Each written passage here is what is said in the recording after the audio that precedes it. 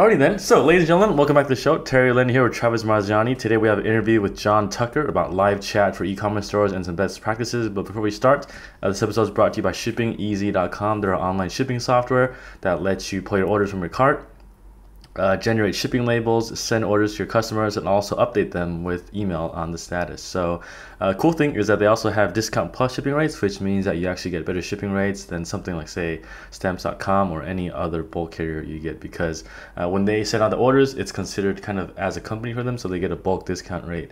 Uh, when they go out on a consolidated basis. So uh, check them out, shippingeasy.com slash build for a free 90-day trial. So uh, let's get into some updates. Travis, what are you up to, man?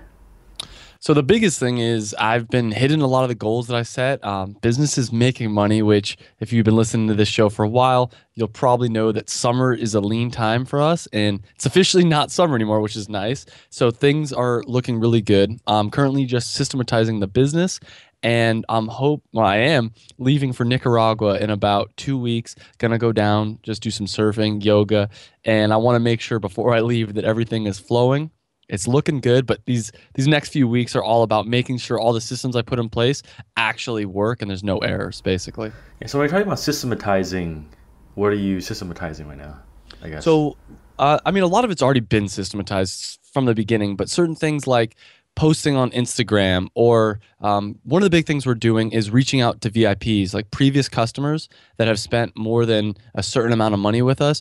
We've been doing a couple different things. And I think I talked about this in a previous episode, but I want to start doing handwritten letters to anyone that spends more than $250, let's say.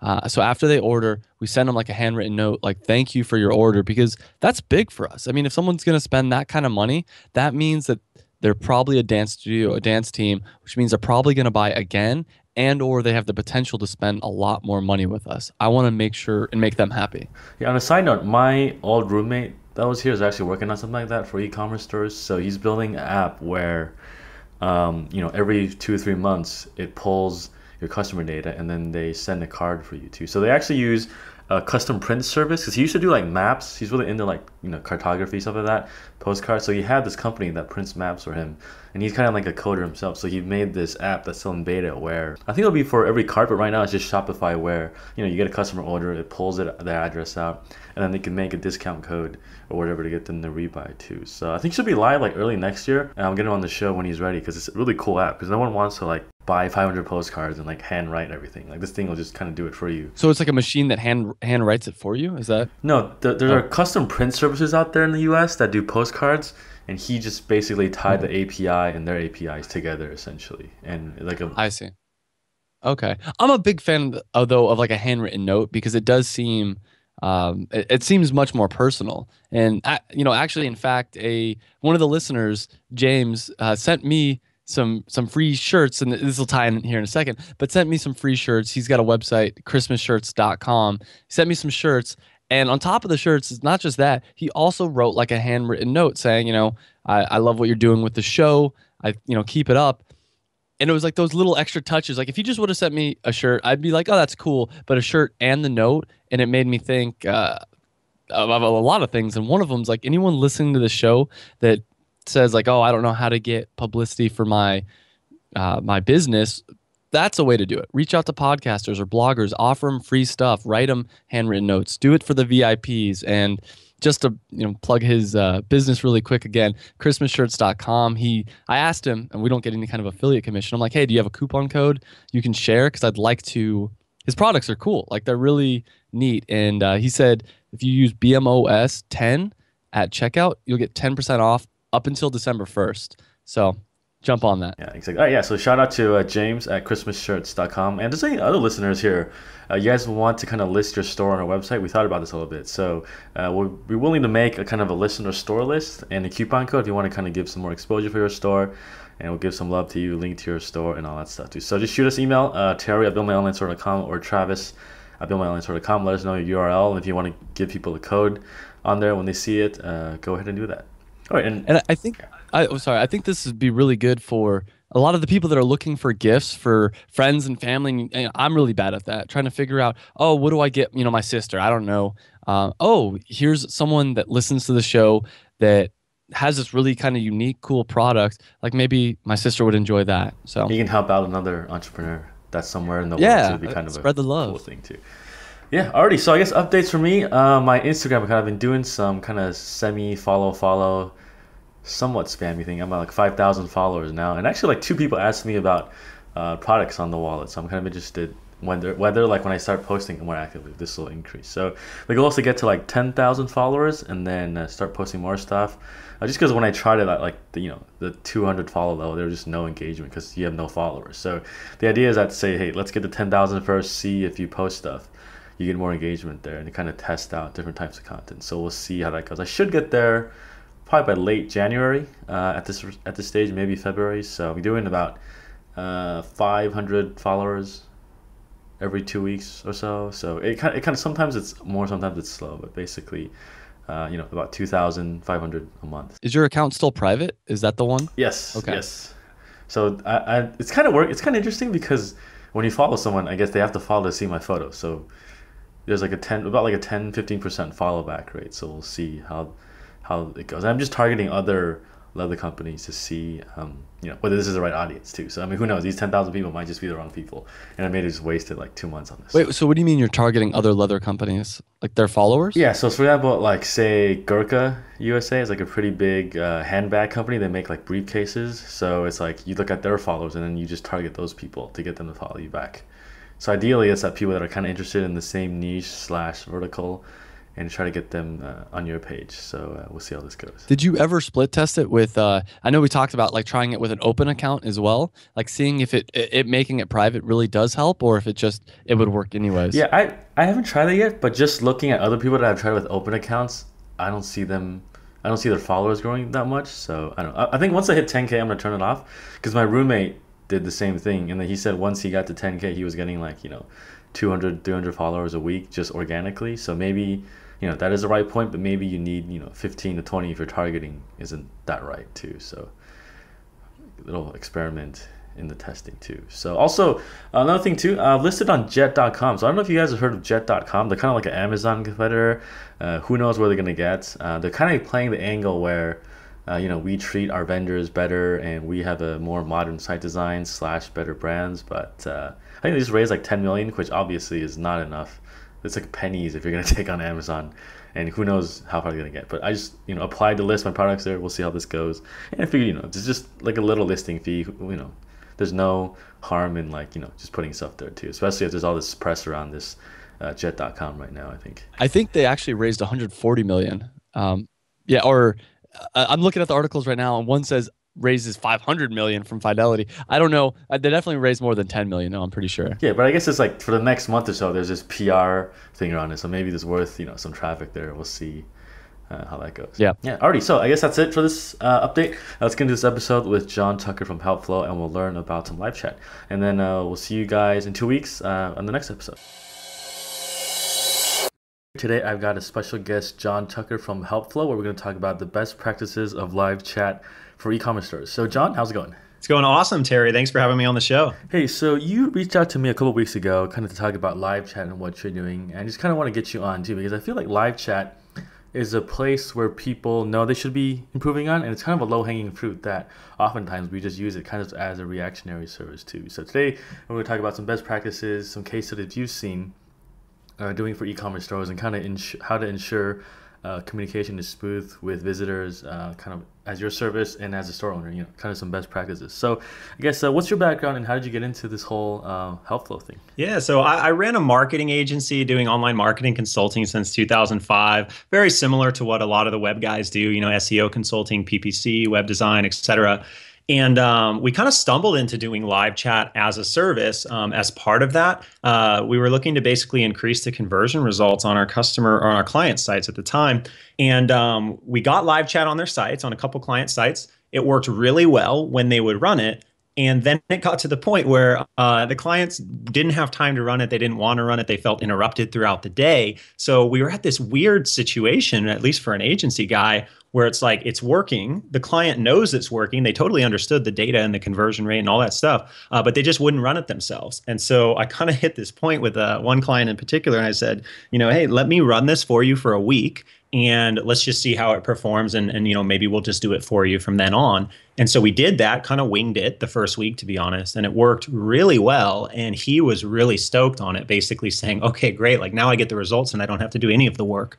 Um, so i said yeah, there might be a service here and that's basically how helpflow started is um, you know we're, we're now a live chat service mainly focused on e-commerce stores but we basically run the chat system uh, for the actual website owners for our customers. We chat with their visitors while they're browsing the site and help them out which results in solid leads solid uh, solid sales results for their sites. And you know um, the store doesn't have to focus on running it themselves. Gotcha. So i guess if i'm going to ask you like for the e-commerce stores you run are they mostly like b2b sales or b2c or what type of industry are they mostly in? Or is it across the board it's across the board, but the main criteria that we've noticed works well is higher dollar purchases where people are inherently going to have some questions before they buy or need some recommendations. Um, somewhat complicated products, again, where people are going to have questions. And this is kind of the key factor to being able to outsource uh, your live chat to somebody else. There needs to be like a right answer to your product related questions. So what I mean by that is, you know, fashion related items like, um, you know, wallets, for example, or T-shirts or something like that. That's kind of hard to build like a really defined knowledge base around uh, because a lot of it is subjective to the visitor. Uh, we've done well in some of those niches, but our sweet spot seems to be, you know, higher price point, complex products that uh, you know people have questions on before buying. Um, I haven't noticed any trends between B2B versus B2C, but um, definitely that's kind of the general direction that we're we're focused on. Gotcha. So something like maybe like if I sell security cameras or like computer hardware for like entire school, where it's like kind of a big purchase, very technical stuff that needs kind of a straight answer for this or that, is where you guys specialize in. Yeah, yeah, and and I don't want to kind of say that we're super niche. Um, it's just the main thing that I've noticed is we we don't do well on lower price point around you know under a hundred dollar average order value, uh, where it's a fairly subjective purchase. Um, you know where it's based on you know your taste in terms of fashion rather than whether this thing's going to be compatible with uh, the product you're buying it for. Um, so we we work with a lot of different niches, but that those are the niches where I've noticed we don't seem to do that well. Is lower price point, very subjective subjective purchases. Yeah, it's like if someone asks you, "Do these pair of shoes that are four hundred dollars look good on me?" Well, you exactly. might think it looks good, but my friend, my my mom doesn't think it looks good, right? So exactly. so those are tough. cool. So I guess the next big question is, how do you learn about someone's business, and if you're doing this completely for them, like what does the onboarding process look like? Yeah, that that is the most common question we get is, you know, how, how are you possibly going to answer questions from my visitors? Like, you don't know anything about my business, which is true from the beginning, right? But we have a really detailed onboarding process that we've built and some tech that we built for ongoing learning. So I can kind of run you through some of that. Um, you know, the first piece I would say is, you know, we're running chat for so many sites now. Doing, we're doing. Uh, last week we did 3,500 chats, so we we do a ton of chats for a ton of different sites and that gives us a lot of data to know like regardless of what you sell what types of questions are people going to ask. So shipping status order order tracking you know free shipping warranties all types of questions. Um, we track all of that. So we have a good database built up of you know if you run this type of business here's the types of questions that we know are going to come up. That's the first piece. So we've got a good starting point there. We've also built a pretty solid process and some tech to be able to basically predict some of the product specific questions that you're going to get. Um, so we just signed up a customer that sells uh, aquarium related products, and there's plenty of sites that sell aquarium related products online. And so we've built some tech that goes out and basically pulls in a lot of product information from all different types of sources online and gives us a pretty solid starting point to know like what are people actually asking on other websites related to these products um, and again you know that gives us a pretty good seed of information uh, to start with so we do learn the business, but it's a very data driven process. Um, we also have an onboarding call that goes into more detail on some of those questions because we, we can't do all of this through you know our platform um, but that gets us to the point where by the day we launch we have a really solid base of, of questions that are going to get asked and then after that, um, you know, if we don't know an answer, we have a good process for the visitor to kind of make sure that they do get an answer from the customer, uh, even though we're not able to answer it at that time. So we take good care of them and set good expectations. Um, but when our customer replies to their to their visitor and answers the question, they BCC our system and that updates it as well. Um, so we have a couple things built in to be able to basically consistently update our system with more information from our customers. So we've really focused on you know systematically learning uh, customers' businesses, and it's it's working really well.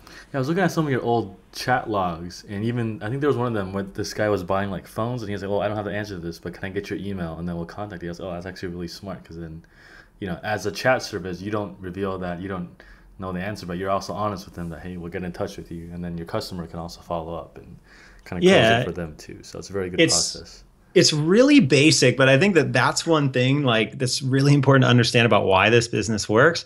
What we found is that it's more important to make sure the visitor feels well taken care of and knows that they will get an answer by three o'clock today rather than having the answer right now on the chat. Um, if we can build that rapport with the customer by answering some questions and and committing to them that you will get an answer today at this time, um, that's what matters. And so it's a simple process. You can see that in the chat logs, but that's that's a big lesson that we learned over time. Yeah, even like as a visitor, if you think about it, it's like even if you don't have the answer for me, as long as I know someone's gonna get back to me, and it's not like a huge urgent purchase, I'm generally will be okay with that. If it's within a reasonable time frame, like six hours, twelve hours, same day, even that's fine too. I think most of the time. Definitely. Yes. So I guess let's go back into some best practices of live chat. So you said, uh, you know, you guys did 3,500 chats last week. You guys have a lot of data, a lot of products you're going after. So what are like some of the overarching things you guys have built into your best practices when you do it for customers? Yeah, I, I, think a good way to start is is some of the mistakes that we see because the the majority of our customers have had live chat on their site before. They ran it themselves and then they had us take it over. So we see you know a lot of um, different ways to run chat. I guess we would say. Um, so some of the mistakes that that stores make is having a really slow first response time, or you know, God forbid, not responding at all. And so what I mean by that is you know somebody clicks the chat box because they have a question and the box says you know click to chat. They click it. They it automates some message to say you know hi how can i help you? or something right? Like most systems do.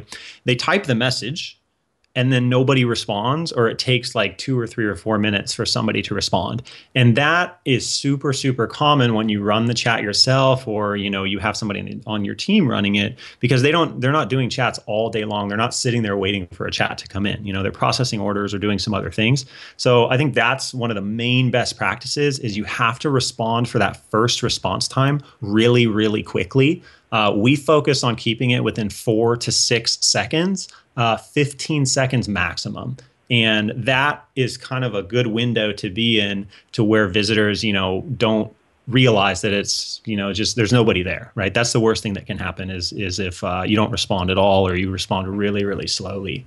Um, so that's one piece another piece that we've noticed in terms of best practice is you don't want to force people through a contact form or a, a pre-chat survey is technically what it's called basically one thing you can do with most chat software, and it makes sense from a marketing perspective to get the data up front, but it's a really bad experience for the visitor. Um, if you basically have the click to chat button on your site, and then they click it because they have a question, and then it says, "We're happy to help you. Can I get your name, email, phone? Um, have you purchased from us before? You know, what's your budget? Are you going to buy today? You know, like uh, people don't ask those crazy questions, but pushing people through a form is just a very bad experience for the visitor. Um, so that's that's something we see a lot too. Is just you know doing stuff that makes sense from a marketing perspective. It's great to get the data, but it's not really thinking of the visitor experience.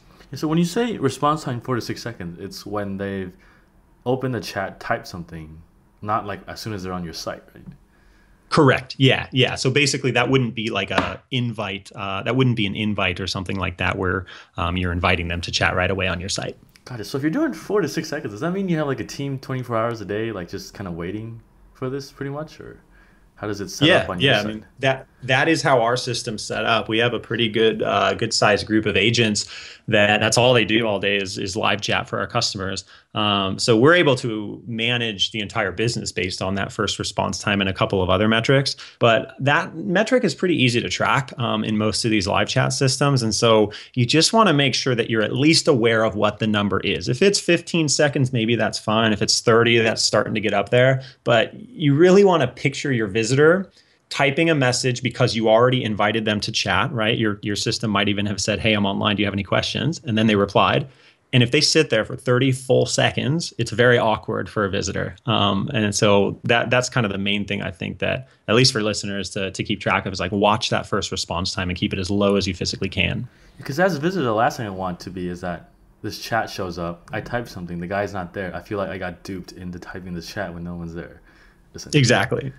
Yeah. All right. So, so say I have a question. Now, what does it look like then on the back end? If say I have a question, like what does the workflow look like to get me the answer that I need? So, so we've built a good amount of tools to be able to do that well. I, I think it's unique for us because do, I mean, do you want me to explain it from our perspective running chat for a ton of sites or from like an e-commerce store's yeah, e-commerce from, from an e-commerce perspective? store perspective? I guess what are the cool. most common questions usually that, that you get in live chat then? I guess. yeah, so so basically somebody's going to click the chat box or if you invite people to chat on your site, um, you know, they're going to reply to that. But basically, they're going to ask you a question. That's going to pop up a screen on your window in the chat interface. Um, a lot of these tools, at least the main, the the most popular ones, they work pretty similarly. The chat's going to pop up. You're going to see the question. You're usually going to, or you're always really going to see uh, what page they're on, previous pages that they looked at, um, a lot of tools will show you if they're a returning visitor or not. We take a bunch of other stuff and pump it into the system also, such as like the most common questions for this particular customer and all that.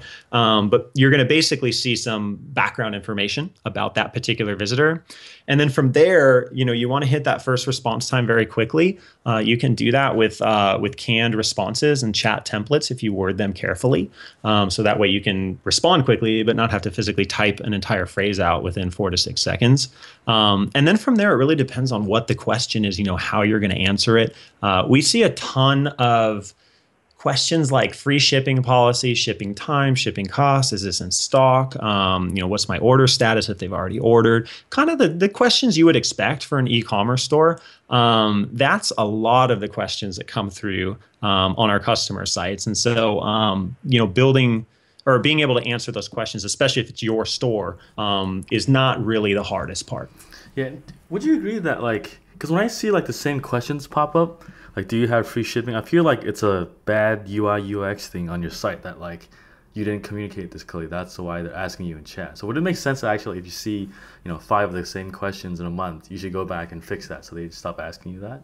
I, I I thought the same thing when we first got into the business. And what I noticed is a lot of our customers have really well designed sites. They've got a gigantic free shipping banner and it says it, like the information is very clear on the page and you still get those questions. And so what I've noticed is like make sure your site is like well designed, has the right stuff in place, like isn't like just confusing the heck out of people. But other than that, um, you're always going to get the questions, especially if the chat box is there. So it's not really a red flag if they're asking those questions, even though you feel like it's it's clear on the site. Some people just opt to ask. Yeah, so I guess if we're running it themselves, we go back to the response time. Like, say you want to be under 30 seconds. Like, besides notifications, and always looking at your phone. Is there anything else you can really do? Because I guess sometimes you're like in the shower, you know, maybe it's like five minutes, ten minutes. You're, you know, in the car. You can't always respond right away. Is there any way around that, or is it just kind of that's the best you can do?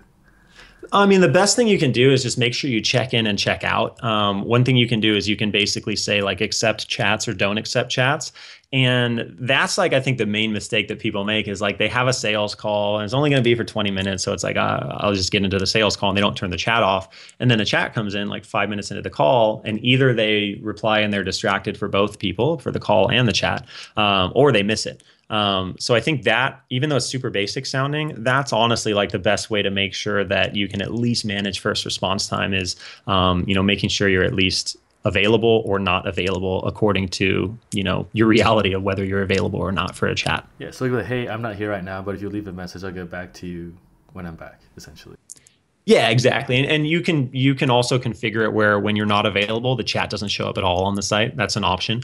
Um, you can kind of configure it in a range of different ways. But the bottom line is you want to make sure that you at least uh, kind of say in the chat system with your status. There's status in these systems.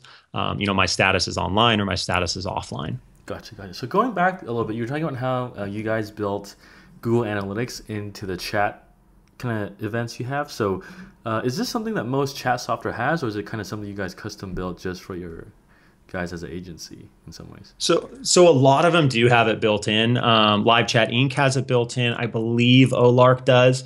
Um, so it's something that you can definitely do in most systems. And if you're using a system that doesn't have anything like that built in, you may want to move to something else because there's so many chat softwares out there now. Um, so it wasn't actually crazy complicated for us to build that particular part for what what we needed. Um, but that's definitely something if you're gonna start with um, a live chat software, that's I would want to make sure to have that at least for an e-commerce business, and and it's pretty common. Yeah, so where would you see the data? Would it be in like campaigns or?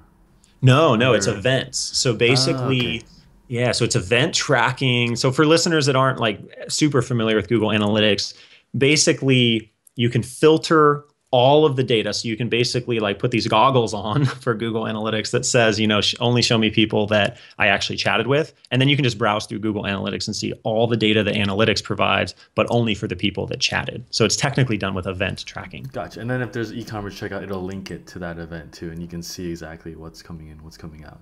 Exactly. So we've got some crazy data that we publish on the site. It's all anonymized, obviously, but um, you know we track exactly how many dollars are produced for uh, our customers from people that we chatted with. So we've got customers that are paying us, you know, 150 bucks a week, and you know we're generating them 4,000, 4,500 dollars in revenue per week, and that's only from people that we chatted with. And that doesn't include like phone orders or people that came back later on a different computer. There's a lot of holes in the data.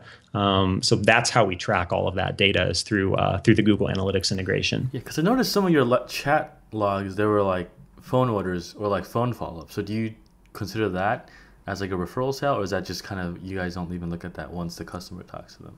We we don't we don't, and honestly, like we we don't really know what our cancellation rate is because cus- the right customers that we work with, like they just don't cancel. The Google Analytics integration is just there, so like if the data is trackable, then we got it. Um, but otherwise, what we've noticed is like we don't need to get too granular um, to try to make the business case for it. Especially like when you look at some of those chat transcripts. I mean, those are like ten thousand dollar orders, five thousand dollar orders. Like you get one of those, one or two of those a quarter, and it's like our cost of service is is handled at that point for them. Yeah, exactly. So I guess uh, is that kind of like a normal ROI across your store for like you know say two hundred bucks uh, a week, but you're getting them four thousand dollars, or that just kind of like an anomaly? Like, where's like the benchmark?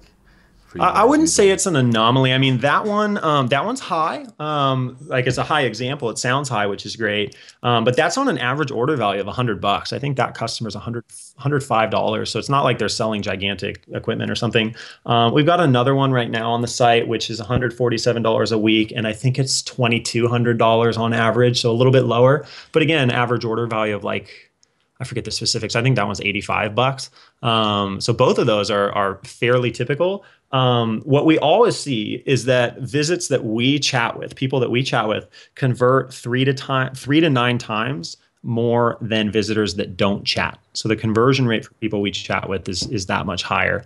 Um, so it all depends on like the quality of your traffic, who you have on the site, and how the site's performing already. But if you have a, a site that's already producing sales, having the live chat on there, whether it's us or you managing it, is going to produce more results because it's just again, you know, it's a better experience for the visitor having somebody there to help, and that is going to produce more sales. Yeah, I saw one of your sites was a Pro Teeth Guard. It was my friend JP's site. I guess. Yeah. He sells like dental stuff. So I guess for people listening who doesn't know, I guess uh, basically, if you need like a mouth guard, you usually go to a dentist. You spend 400 bucks. He gets a mold of your teeth and he sends it to you. But I guess he kind of sends you the kit. You do it at home, and then you know he sends it. You send it to him, and then he mails you the kit, and you pretty much get like probably like anywhere from like 30 to 50 percent off normally what you would pay for. And I guess you guys run the chat for him because a lot of people probably have questions, right? Like, oh, is this safe to put in my mouth, or you know, how fast am I gonna get my mold and all this stuff too. So it's kind yeah, of yeah. Yeah jp was customer number like six or seven very early gave us a shot. I knew him from some other stuff i had worked on before.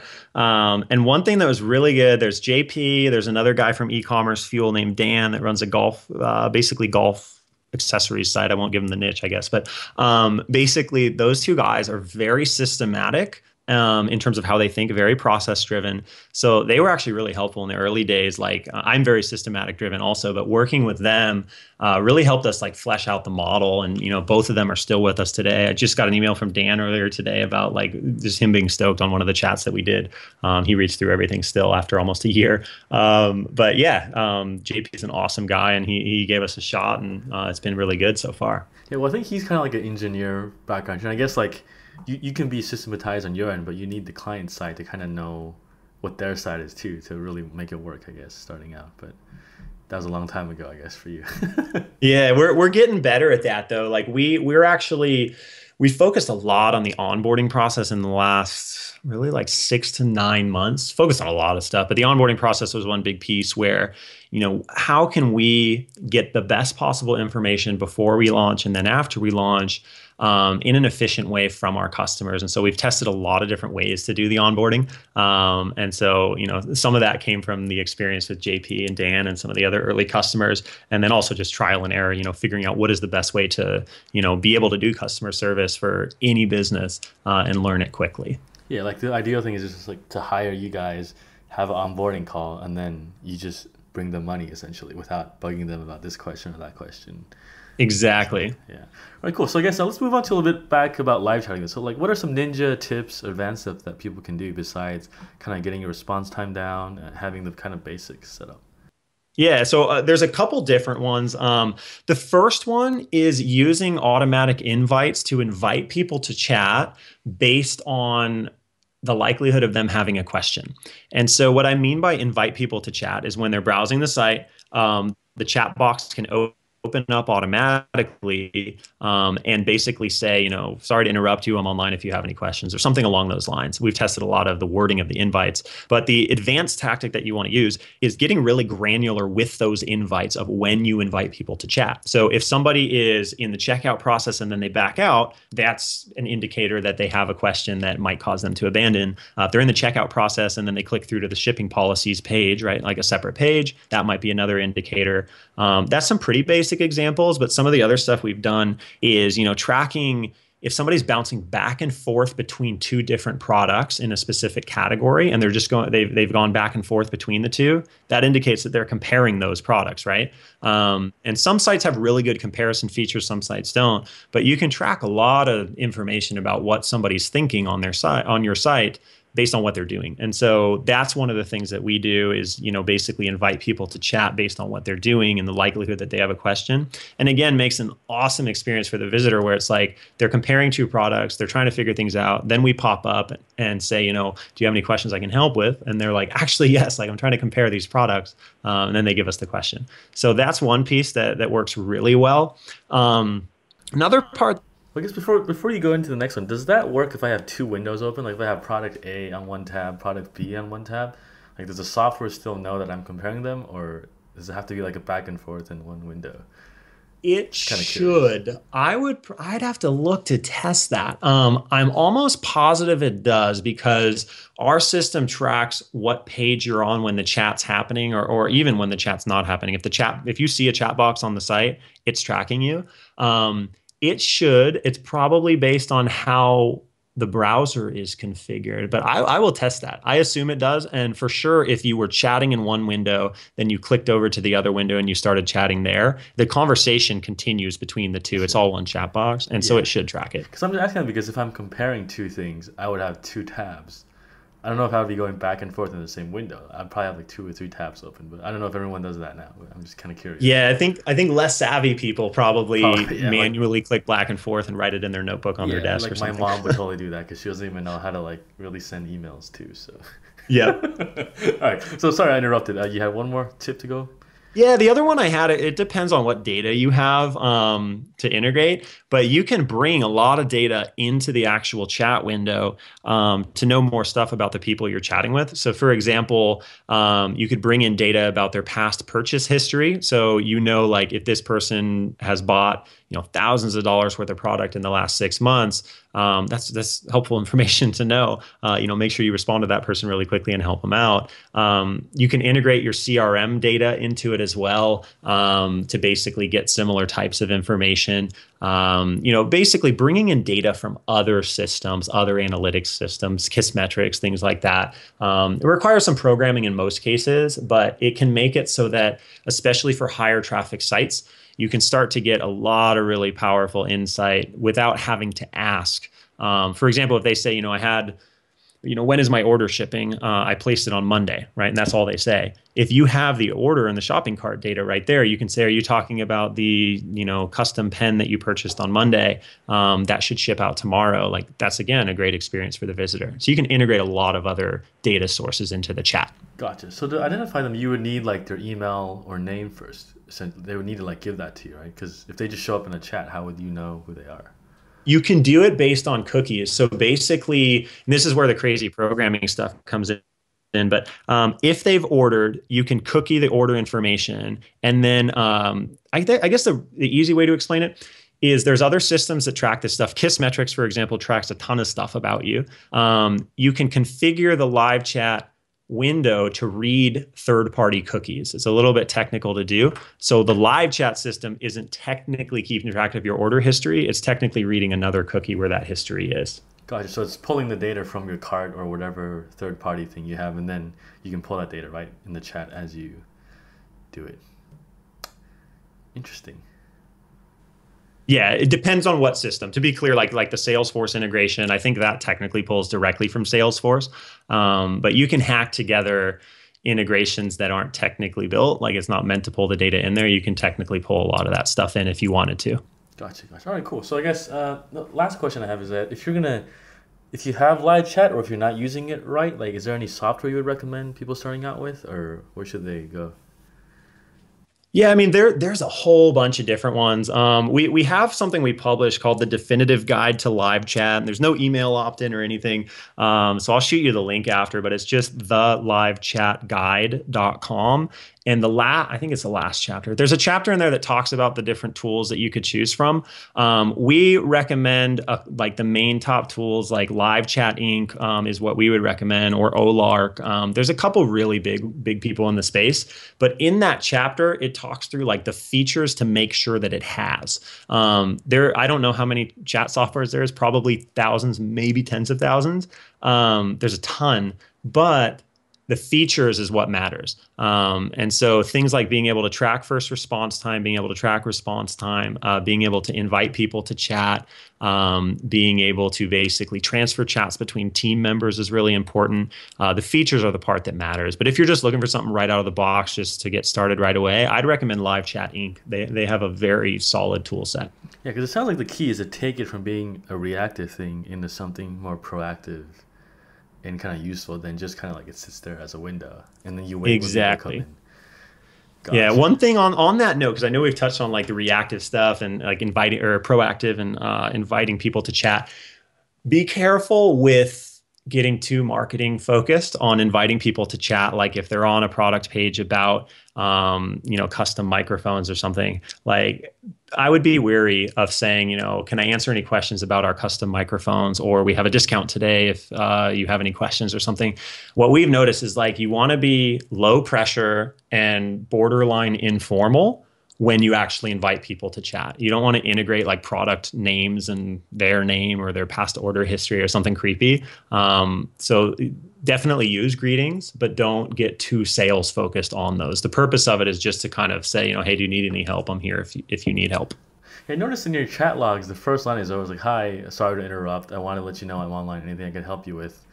Is that something you guys have tested? Like yes. a lot? Yeah, and that's that's what I mean by informal. Um, you know, for listeners, if you look through the chat transcripts, that it basically says, "Sorry to interrupt you. I wanted to let you know I'm online. Do you have any questions I can help with?" And so that's very carefully worded to basically, you know, acknowledge that we are technically interrupting them, like they didn't ask for the window to pop up. So that kind of lowers the guard a little bit. Um, I wanted to let you know I'm online, which basically means like I'm available if you need me. Like um, we have people here to help. And then, you know, do you have any questions I can help with? Is like a direct uh, ask essentially. Um, so I, I don't want to say like we've trademarked that or some crazy like aha moment but we noticed like if you integrate any sort of sales speak any sort of discount codes any sort of just anything sales driven, um, it just rubs people the wrong way, and they they think it's automated anyway. Um, if you keep it informal and you know just very low pressure, um, the response rate is much better. Yeah, I noticed the framing of that is that when you first say sorry to interrupt, even if you're not interrupting them or you are, like you cover your ass on kind of both sides, where like they can't get mad because you already apologized.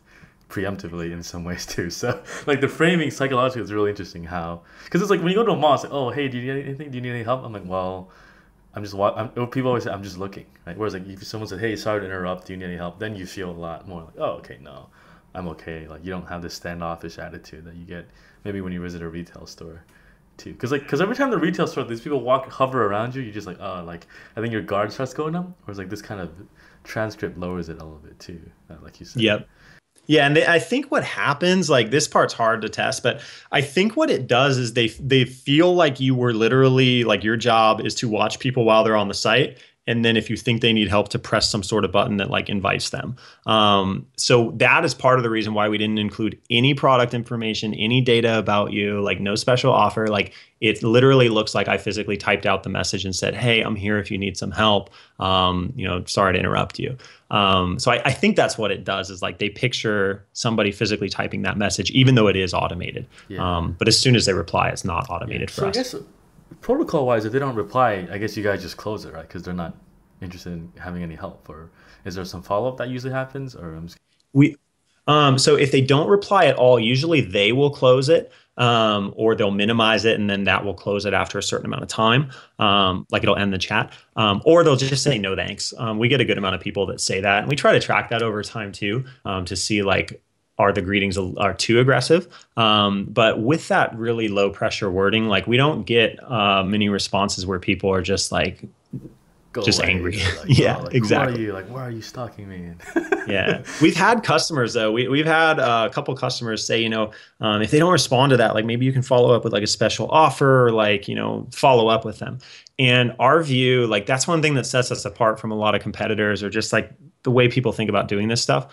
Um, we are exclusively focused on making sure like it's as awesome as possible for your website visitor. Um, we're not going to be at, um, exclusively focused on harvesting as many leads as possible or converting as many sales as physically possible um, if that impacts the visitor experience in a bad way. Because if the visitor experience is awesome um, and they feel really well taken care of, your lead conversion rate and your sales conversion rate will go up.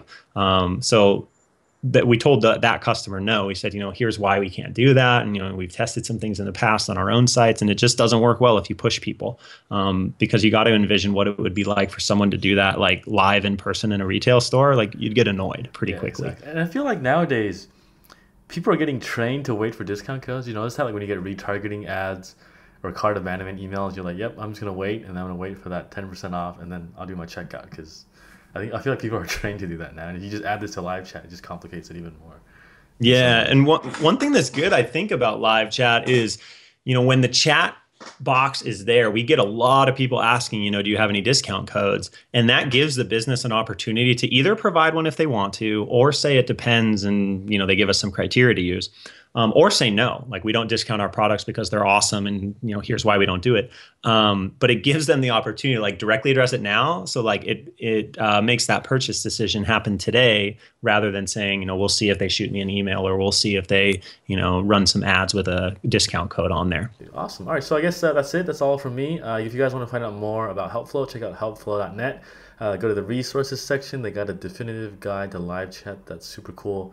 Uh, I'd also check out their live transcripts. I actually spent probably like, you know, 10, 15 minutes looking through some old chats. It's pretty interesting to see kind of how their process works too, if you guys need some help with this too. But uh, I guess that's it. Jon, anywhere else uh, how we can connect with you in case I No, I, I think that's the best bet. If you want to get straight to the live chat guide, it's just thelivechatguide.com. That'll redirect you to that page on the site. So um, I, I, just set that up so it'd be easy for your people to get to. Awesome. All right, Jon, thanks so much. And we'll keep in touch and I'll let you know